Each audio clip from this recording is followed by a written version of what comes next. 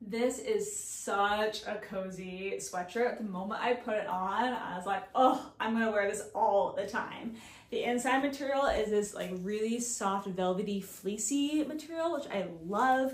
Um, the outside is just a normal sweatshirt material. So honestly, it's like cozier on the inside than it is on the outside, but again, really soft, really comfortable. The sleeves have elastic right here, so it's gonna just hit really nicely. I kind of wish there were thumb holes in this, to be honest, just because it would add a little bit to the coziness factor that I'm already like really loving in this jacket. Um, they do have the typical sweatshirt pockets here lower on, and of course it zips all the way up from the bottom all the way up top too.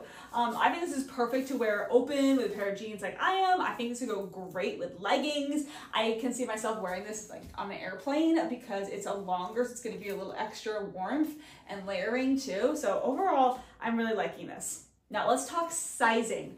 I am a size extra small or small typically, and right now I'm wearing a size small. Um, I'm about 5'5", 110-ish pounds. So if that gives you a good reference of what this might fit like on you, I'd say this really is true to size. It fits me very comfortably, not too loose and baggy, not skin tight either. So I'd say um, buy this true to size if you're wanting to look on you the way it's looking on me right now. Now, this jacket in this video is sponsored by the company who makes this, um, and I'm here to give you some feedback on it, try it on, help you out with sizing. Overall, I'd say great find, super comfortable, and fits true to size.